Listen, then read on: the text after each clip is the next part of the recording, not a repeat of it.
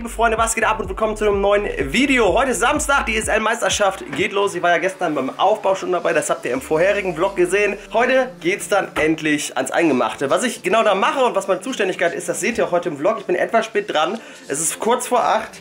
Denn Scotty hat mich äh, heute um halb zwei und um halb fünf aufgeweckt, weil dem geht's nicht so gut. Der ist ein bisschen krank. Also ich mache mir etwas Sorgen um den. Aber mittlerweile geht's wieder. Der ist heute bei meinen Eltern quasi. Und ich fahre jetzt nach Düsseldorf und das ganz, ganz schnell. Ohne ein Knöllchen zu bekommen. Wie letztes Jahr im Spring Split 2017 bei der ESL-Meisterschaft.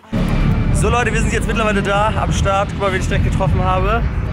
Hallöchen. Anlelek me. Äh, das ist unser Arbeitsplatz. Ja, wir observen heute das Ganze. Ich glaube, mit was fängt es an, das Doppelspiel? Weg gegen äh, ESG. Big gegen ESG wird auf jeden Fall ein sehr, sehr interessantes Matchup. Die Leute sind noch nicht drin. Wir haben jetzt mittlerweile 9 Uhr, das heißt eine halbe Stunde noch bis zum Einlass. Das heißt, ich gehe jetzt eben mal rüber, zeige euch, wie die Halle aufgebaut, leer aussieht und dann direkt im Vergleich zu den ersten Leuten. Ja, liebe Freunde, let's go.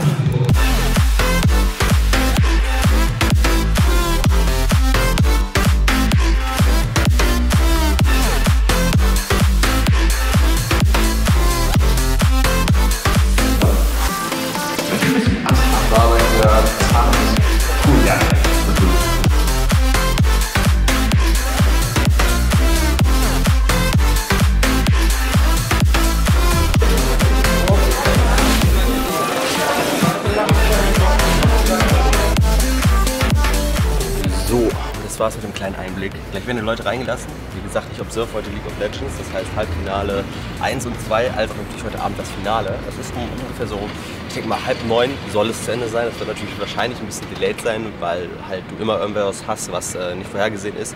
Ich bin gespannt. Es ist auf jeden Fall die größte ESL-Meisterschaft, auf der ich bis dato war von den Zuschauern her. Und ich bin gespannt auch auf die Bilder und die Leute, die heute hier sind. Weißt du, was das Wichtigste ist auf einer ESL-Meisterschaft? Dass der Inni wieder influenzt. Der ist so hart am Influenz, das ist gar nicht wahr. Was ist los, Alex? Du hast die Tickets, ne? Hat Burrito dir geschrieben? Aber mir wurde gesagt, dass der Endelis halt heute mehr Aufmerksamkeit kriegt als sonst. Da dachte ich so, yo, warum nicht dann auch eine Aufmerksamkeit du hast. Das ist so nice. Also jetzt mal so aus, aus, aus wirklich dringlichen Anlässen. Auf einer Skala von 1 bis 10. Wie findet ihr dieses Hemd? Das ist so geil. Also ich Man finde. muss die Blümchen genau drauf sehen. Freunde. Paul Pancher. Ihn hier nochmal mitgenommen. Nini Nelly, der hat keinen Bock mehr, der will die Leute abholen, wird aber hier gestunt, ist gleich wieder mega nah auf der anderen Seite, sehen wir ihn. Navio rotiert da drumrum und Big schnappt sich hier die nächsten Kills und eventuell das Game. Das TP Das ist, ist das bereits schon, es wird niemals reichen. Big ist hier in der Lage, das erste Game für sich zu entscheiden gegen ESG. Ganz starke Kiste.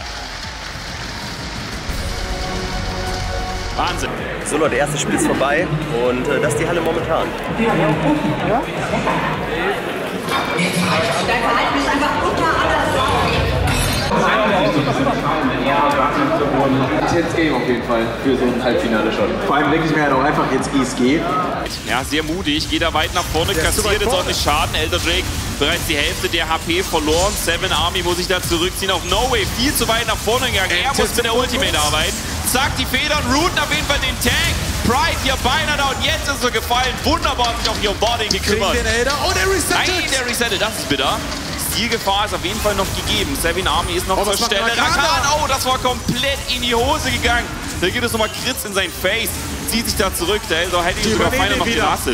Die übernehmen den, die können den Finish und jetzt ist es der Nisch gegen Seven Army. Beide sind bei Oh, Blackson und Seven. Army schafft das Ganze. Man bekommt den Elder Ring. Oh, man bleibt im Galliotju. Was du denn? Zack, und jetzt das Grid Battle. Kasi mit den Powerplays. Kann da keiner, die Schilde reichen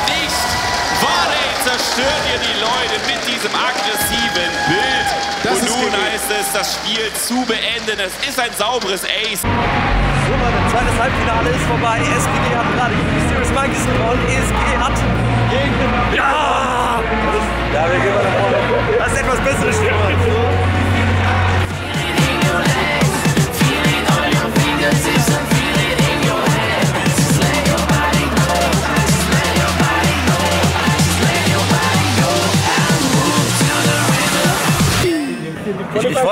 sagen, ich bin hier eigentlich gerade am Spectaten, das Finale. Jetzt stehen ja 5000 Leute mittlerweile um uns rum. C8. Polnisch krass, nimmt. Wir sind voll im Game, wir sind voll im Game hier. SPG gegen ESG. So viel steht's. So viel steht's. werden ihn vernichten. Das Jeder dauert trotzdem. Cassio sind halt 600 Damage, aber die wollen das scheinbar nochmal fighten. Hier kommt Shoga da rein. Aber Er hat noch 4000 AP, der hat noch ziemlich tanky. Jenna hat komplett verabschiedet. Da ist der Kopf einfach sofort abgeflogen. Der Lilleran, der schafft es aber nicht. Double Kill und insgesamt sagt das nächste Miasma Oh mein Gott. SPG schmeißt das Spiel gerade weg. 10 Sekunden auf Jerry. Das ist früh. schon noch 6. Die Sase geht rein. Gewinnt den Kill. Oh, Ja, der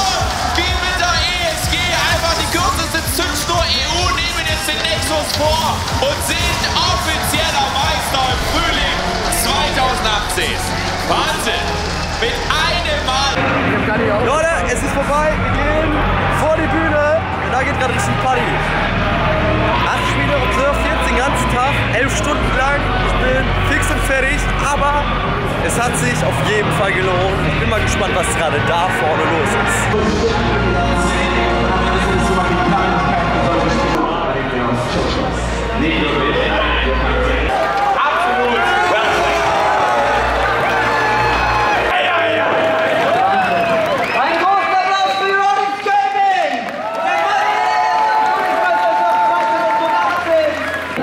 euch mehrfach So, Leute, ich jetzt übrigens neben das ist Stefan, die auch quasi von der ESG sind. Die haben ja gewonnen. Gefühl? Könnte nicht besser sein heute, könnte nicht Könnte besser sein. Möchtest du mich grüßen? Alle, die mich kennen und die Fans natürlich. Ne? Ja, Ja, was geht? Hi. Ja, Kevin, kurze Worte. So geil, ey. Endlich wieder. Endlich wieder. Nach wie vielen Jahren? 2016 war unser Jahr und jetzt äh, 2018 wieder.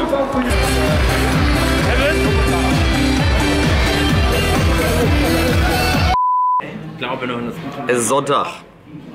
Angeblich dieser YouTuber wieder. Ich bin jetzt auf dem Welli hat, Welli, du hast immer das Syndrom, wenn eine Kamera an ist, dann wird Hallo. erstmal zack. Oh mein Gott. Na, was geht ab? Das ist, die, das ist die erste Aufnahme von heute und du hast direkt 50 Leute. Yeah, ich auch ein Video. Abonniert meinen YouTube-Kanal. Es ist noch Mittag, das heißt, die Halle ist noch nicht ganz gefüllt. Gerade läuft das zweite Halbfinale. ATN äh, gegen die Weisen. Warum ich heute so spät bin, hat einen folgenden Grund. Ich hatte heute eine super unruhige Nacht. Wir waren gestern Abend noch feiern, es war also relativ spät. Und ähm, ja, wir hatten das Pech, oder ich hatte das Pech, dass ich nach Hause kam und Scotty, mein Hund, dem geht's ja nicht gut. Und er dementsprechend heute Nacht fünf, sechs Mal gemacht hatte, raus musste. Dementsprechend habe ich kein Auge zu getan und ich bin so müde. Aber dieses Event will man sich natürlich irgendwie trotzdem nicht entgehen lassen. So, guck mal, Björn. das gesehen. Hallo, okay. Björn ist jetzt im Video drin. Ja, Leute, ich habe jetzt erstmal Zeit, mir die Spiele auch mal anzuschauen, nach den zwei Tagen. Finale ist momentan die Weißen versus Harmonix Gaming. Erste Map ist das noch, ne? Das erste Map, also haben wir gerade angefangen. Vielleicht habe ich jetzt wirklich zwei Stunden lang nonstop Zeit, mal ein bisschen zu entspannen. Abonniert Björn. Nein!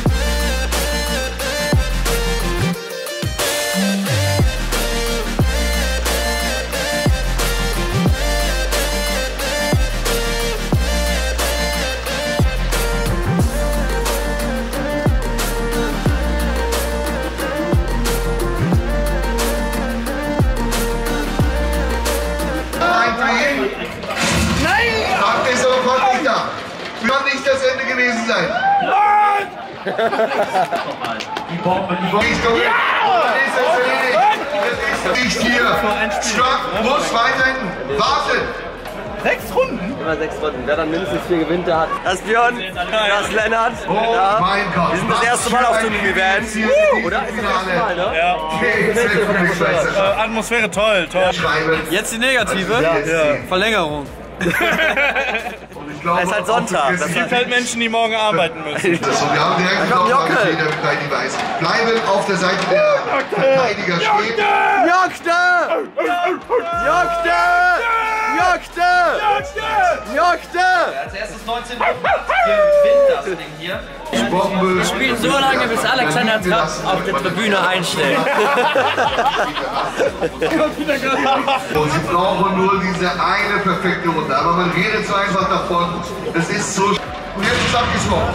Leitz und Patrick. Machen Sie hier diese Runde klar. Gibt es noch eine? Und holen sie es nicht, ist Euronics auf der dritten Map. Da geht's nach vorne. Patrick, was sind die ersten? Two und two. Crispy. Oh, das Timing. Ja, und jetzt ist es gleich im 1 gegen 2. Die Bombe tickt. Der FG hat aber, er muss langsam an die Bombe rankommen. Ah, jetzt weißt du, wo der ist.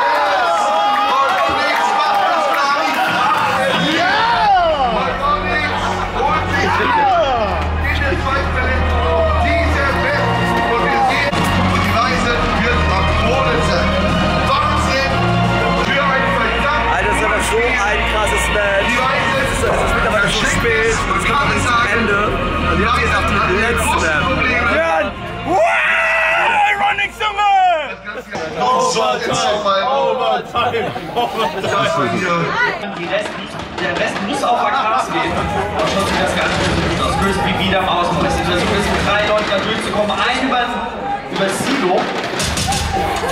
Das sie geben jetzt. Erst Dick Johnson, Crispy hat das so eine gute Position. Wenn die Richtung Main gehen und checken das nicht ab. ja, Und ja, checken wir es nicht. Zwei Leute rausnehmen und das Ding ist vorbei. Gute Position. Setzt an. Spraydown Nummer 1 und Nummer 2. Und Nummer holt sich drei. Und, Und dann das ist es erledigt.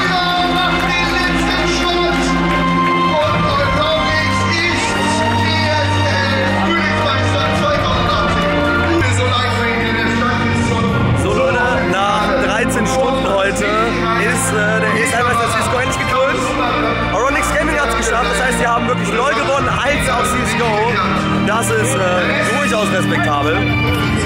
so leicht es.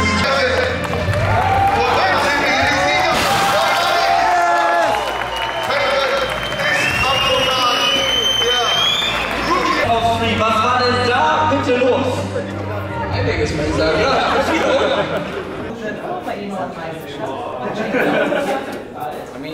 Ey, jetzt hast du dein Interview, Dansen. Ja. Ja, ihr habt ja jetzt äh, zwei Titel gewonnen, sozusagen. Ja. Äh, Auf einer Skala von 1 bis 10. Wie fickerig bist du jetzt? 69.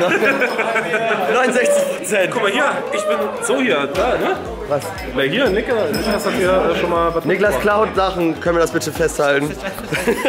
Mein gutes Image im Internet. Mein gutes Image. So Leute, das war's mit der ESL-Meisterschaft äh, von diesem Frühling. Es war der absolute Obermar. Euronics, wie gesagt, konnte zwei Titel abräumen.